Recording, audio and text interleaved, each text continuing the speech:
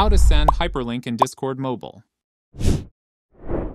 Open the Discord app and navigate to the chat where you want to send a hyperlink.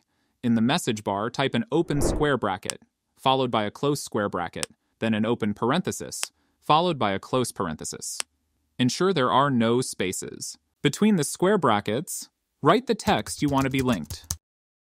Select between the parentheses and paste in your link, including the full URL. Send the message.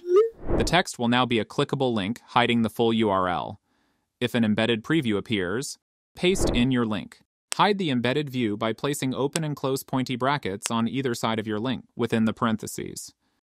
You now have a clean, clickable link in your Discord message. And there you have it,